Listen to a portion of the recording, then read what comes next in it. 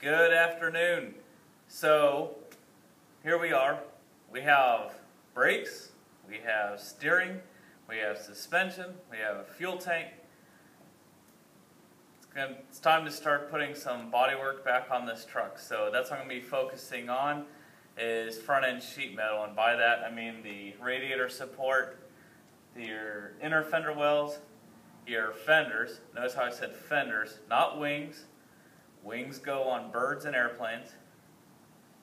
The hood, not a bonnet. Alright, bonnets are what old ladies wear on their heads. But anyway, I'm going to go ahead and start putting that together so I can figure out how much of this has to be moved back. And then that will also let me figure out where the harness can plug in through the firewall. So that's what I'll do. Decide not to move the radiator back or any of that stuff. And it worked. Um, I still need to create. I did have to this uh, uh, this support here. Uh, I did have to take the bend out of it so it wouldn't be hitting the uh, power steering uh, cooler. But I did want to put a tab back there as a support. Um, so there there is room. Obviously, so yes, I have what appears to be a stone shield, but it's just cut up. Mine was all bent up anyway, so I had nothing to lose. Um, but this is going to have to go for the stone shield to go in and then the bumper to go on. I was hoping that I could keep that there as an awesome place to mount the bumper as well as having a place to put this wiring loom going across, but it's not going to work. Alright, so on your 67 to 72 F-Series truck, you have these horns, if you will, on the end of your frame, which your bumper uh, mounts straight to. Uh, there's no support brackets or anything. That's literally what your bumper mounts to. So, what I did is I created these plates, um, four of them, and what they'll do is they copy that shape And what I'll do is I'm going to make little boxed in plates to attach to the Grand Marquis. Okay, so here's what I ended up with. This is one of two, obviously. But the reason I didn't go with the complete boxing was because then I lost access to putting the nuts on. So let me show you a little bit more what I have going on here. And this notch, if you just make a little note of that, I will explain why that's there. This is just an area that's not being used. And where this is going to go is this. So this is the part that's going to go inside of your bumper. Now, you'll see a little bit of gap there, not a big deal. Um, I promise you though, I had this thing perfectly shaped to a Ford bumper, but then I realized it was just too bent. I don't have a place to uh, around here that can straighten and chrome them, so I bought a new one, and of course, you know how aftermarket stuff fits. So anyways, so that and that one will get welded to the frame. Let me show you that part. Here is what I have come up with. So, the Grand Marquis uh, bumper support slash cross member had to come out. There's no way around it. It has to go. So, cut that out. And then I added this bar in uh, because, just like everything else I've done, it's become multi-purpose. Um, there should be plenty of uh, support in this frame because you still have this lower cross member in there that's also the radiator support. So that's still there. That has not moved. But I don't think, you know, adding this one inch uh, square tubing in, how strong is that? Is it really doing anything? I don't know. I think any little bit helps. However, these two on the outer uh, tabs, those are mounting points for the stone deflector. And then this tab with the um, bolt that's been welded in place, that is for your grill support, um, your uh, vertical uh, center grill support, which is also your uh, hood lock, um, your latch, whatever you call it, support. So, anyways, so I got those out of the deal.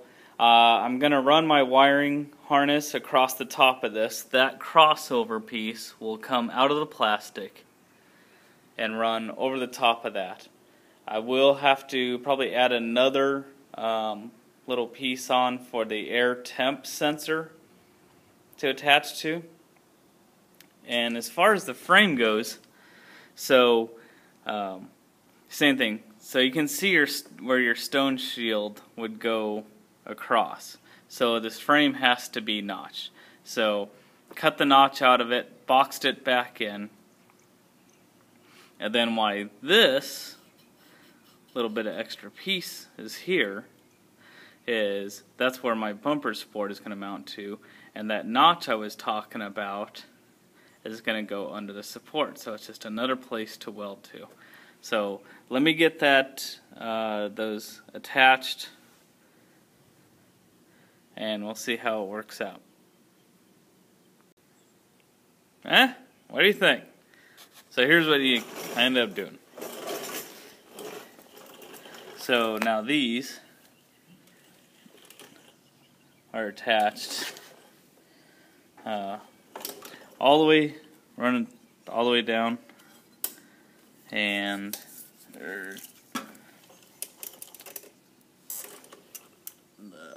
along the front and bottom of that.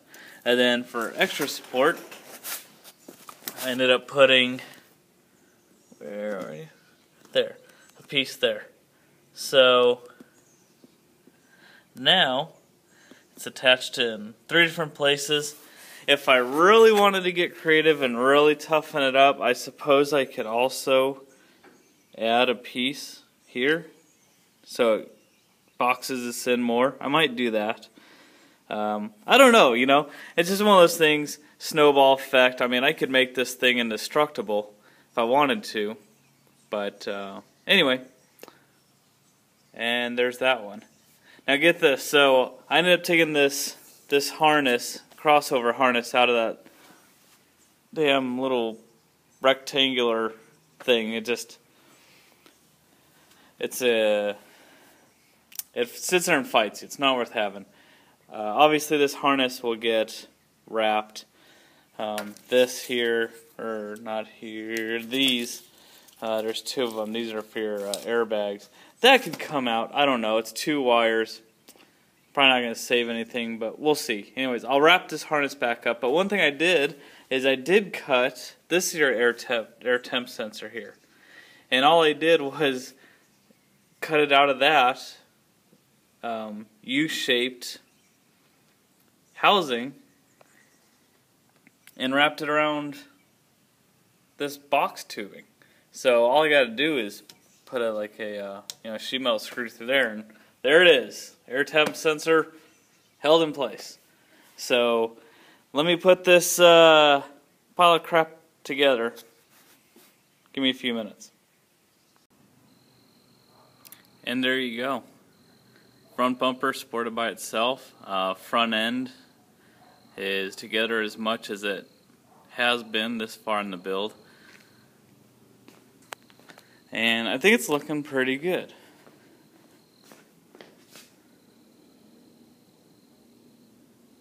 Yeah, I'm happy.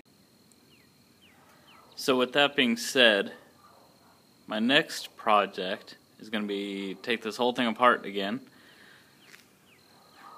and work on my inner fender wells.